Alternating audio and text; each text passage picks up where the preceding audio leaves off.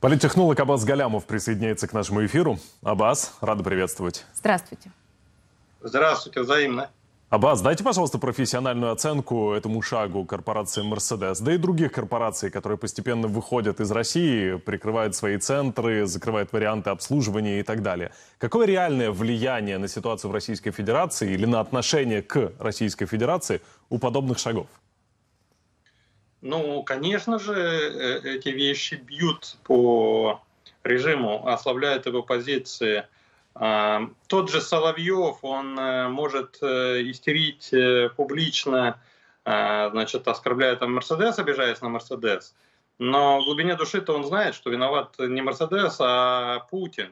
Но Соловьев, ладно, вот он получает непосредственно, так сказать, за пропаганду, это его бизнес – и поэтому он э, свое внутреннее понимание там э, глубоко спрячет и а, свою обиду на Путина, значит, э, утопит в вине значит, крымском теперь, да, потому что французских и итальянских, ну, пока они еще есть в России, да, там параллельный импорт и так далее, вот, но, значит, если все так пойдет и дальше, то вполне возможно, что придется ему крымские и, значит, вины из Анапы пить вместо французских, к которым они привыкли. Вот. А, ну, а все остальные российские элиты, которые лишаются возможности ездить на Мерседесах и вынуждены будут пересесть на что-то там более дешевое, ну, они, конечно, Путину, мягко скажем, благодарны за это не будут. То есть для всех тех, кто лишается возможности ездить с комфортом, конечно, ну, им всем очевидно, а, кто источник их э, бед, их э, зол, даже если они публично это не говорят. Поэтому в целом э, такие вещи бьют по, а, по, по режиму, ослабляют его а, позиции, способствуют в долгосрочном плане, способствуют росту протестных настроений. Вот тут я позволю себе значит, заметить вот о чем. Сплошь и рядом сторонники российских властей – а, вот это важная часть их дискурса, они кивают на Иран и говорят, да, вот смотрите, Иран сколько лет, там уже десятилетиями живет под санкциями, и, дескать, ничего, там у них э, протестных настроений никакого роста не, не заметно. На самом деле, ну, это, этот тезис рассчитан исключительно на людей, э, которые не знакомы с ситуацией в Иране. На самом деле, в Иране протестные настроения растут, э, ну, если не семимильными шагами, но, во всяком случае, ростом совершенно очевидно заметен. Если а, значит, э, так называемая зеленая революция, это самые крупные в истории Ирана выступления, ну, ну, до того момента более крупных не было. Это, значит, э, во время переизбрания Ахмадинежада на второй срок, это лет, ну, 12, 13, там, 14 лет назад было. А, вот, они, они были все-таки системными, то есть э, протестующие выступали под лозунгами а, «Аллаху Акбар» и а, значит, избрали своим цветом зеленый цвет, то есть зеленый цвет ислама, поэтому их назвали «зеленая революция». Вот, то есть это был еще вполне системный протест. Мы, дескать, против злоупотреблений, против фальсификации, но мы не против Исламской республики. То, начиная где-то с 18-19 годов, значит, э, протест стал абсолютно а, несистемным. И теперь в прошлом году, вот мы помним, да, мощная была волна протестов, сотрясавшая весь Иран э, после смерти Махсе Амини, а, девушки, которую избили, убили, э, значит, убила полиция нравов за неправильно, там, платок она неправильно носила. Вот, тогда уже никто не кричал «Аллаху Акбар». Из протестующих а кричали «Смерть мулам» этот протест был абсолютно антисистемным. То есть он был уже не протестом против злоупотребления системы, как тогда, а, в, в, во времена зеленой революции, так называемой.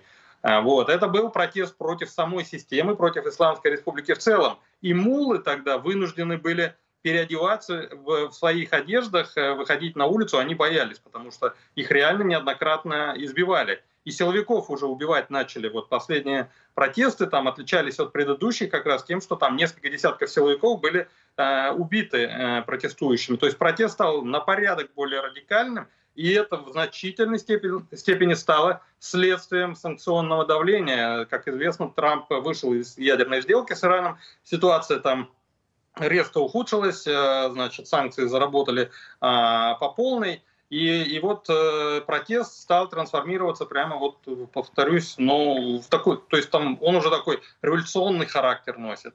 А, вот, поэтому э, э, эти вещи, они абсолютно работают, просто они работают а, ну, в долгосрочном плане. Это не то, что, знаете, сегодня ввел санкции, завтра результат. Ну нет, к сожалению, в политике далеко не всегда результат приходит немедленно.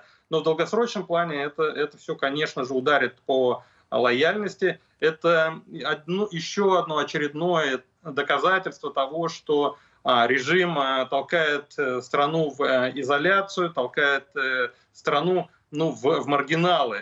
И это никому не нравится. И они по телевизору могут говорить и кричать все, что угодно.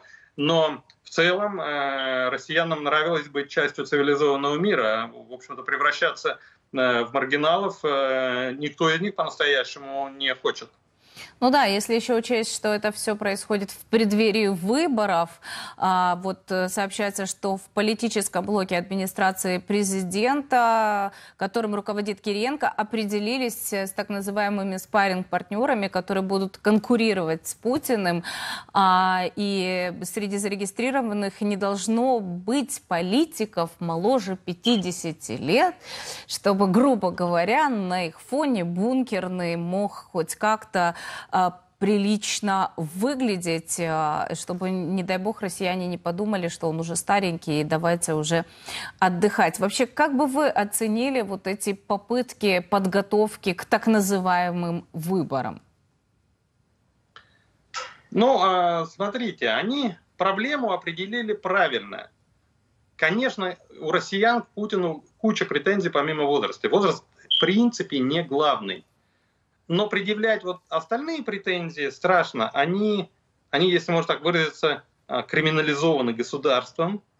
Да, то есть э, можно предъявлять претензию по поводу войны, ну тогда ты подпадаешь под э, статью о фейках, там, против армии, например, да, а, или, значит, э, там, может быть обвинен в поддержке экстремизма, ну и так далее, и так далее. То есть вот против всех содержательных претензий к, полити к, политике Путина, которые могут быть предъявлены, предъявляются обществом, власти выстраивают какую-то защиту, а, значит, в первую очередь правоохранительную, силовую, юридическую, так сказать, да.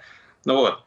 А вот, обвинять Путина в том, что даже не, не то, что обвинять, а постулировать, слушайте, ну он старый уже, а это не криминально, ну что правда старый, да? А, значит, и и вот здесь, и вот в эту, в эту нишу россияне все свое недовольство могут направить. Ну, дескать, я бы в целом, конечно же, за Путина, ну сколько можно, ну старенький уже все уже, ну дорогу молодым надо. Да, это такая легитимная э, претензия. И, и заткнуть эту дыру ты, в принципе, не можешь. Ну, ты не можешь э, криминализовать высказывания о возрасте правителя, что совсем бред будет. Да? Вот. Поэтому эта, эта тема, тема возраста, она потенциально взрывоопасна. Да, вот я говорю, недовольство из других сфер, так сказать, э, накопленное по другим поводам, оно, оно сюда может вот хлынуть. Знаете, как вот ну, река там какое-то вот наводнение, да, и оно какое-то русло там находит, выходит из берегов, куда-то течет там. Ну, это вот а, происходит, а, значит, куда потечет, ты выяснишь вот по ходу дела, да, ведь а, заранее это трудно с, спрогнозировать. Вот, и вот эта тема возраста, она, в принципе, ну, представляется одним из э, возможных вариантов, вот куда это, этот поток э, хлынет. Поэтому, чтобы минимизировать здесь потери, они вот придумали, значит, а давайте тогда, типа, все старички будут, и на их фоне Путин уже будет выглядеть нормально. На самом деле, конечно, это кажущееся очень простым, но совершенно неправильное решение, потому что оно приведет э, всего лишь к э, всплеску недовольства системой, то есть к росту антисистемных настроений. Ну, то есть люди в очередной раз убедятся, что система реально не предлагает никаких альтернатив, а, что на самом деле она всего лишь создана там дублировать э, Путина, Путин, по, путинскую повестку, путинские месседжи, так сказать. А, вот. И, и, ну и, соответственно, это очередная волна разочарований в системе. Поэтому выбор э, такой непрофессиональный. Я как э, политтехнолог, э, я, я на самом деле им предложил совсем другой вариант. Они, они пытаются от проблемы спрятаться в кусты, а на самом деле они теоретически могли бы, знаете, обыграть эту тему возраста, но просто надо было бы действовать очень смело.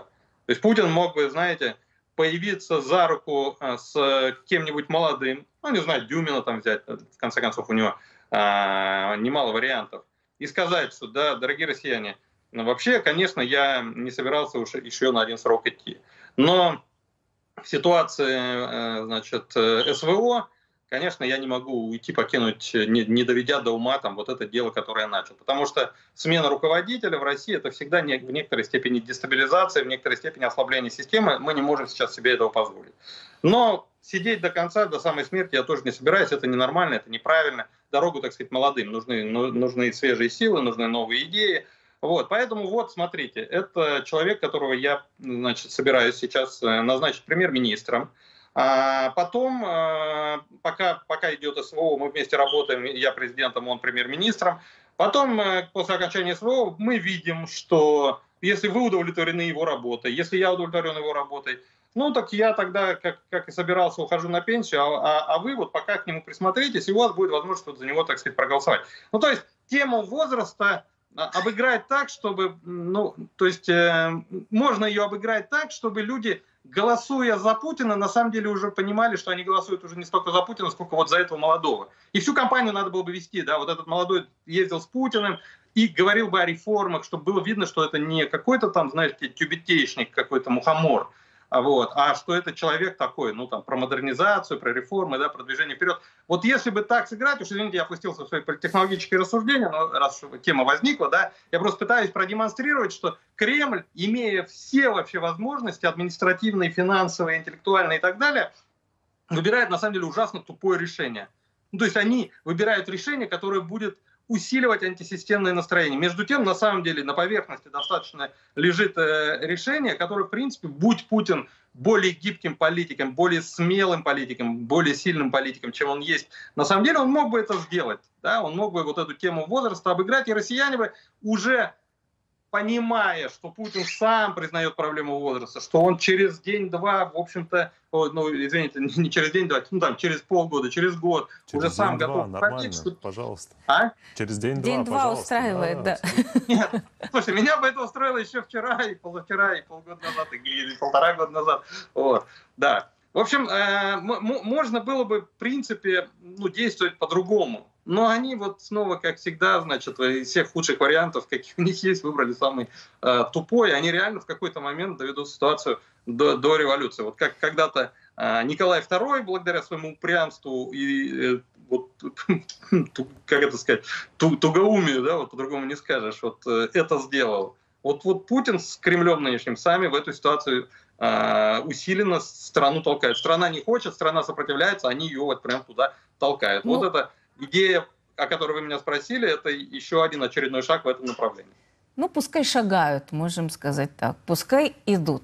Да, Аббас, спасибо, спасибо вам огромное, что присоединялись э, к нашему эфиру. А, до новых встреч. Аббас Галямов, политтехнолог. Спасибо. Оперативные новости, эксклюзивные видео, аналитические обзоры. Фридом в Телеграм, только проверенная информация. Обязательно подпишитесь. Будьте в курсе всех событий. Ссылка на наш Телеграм в описании.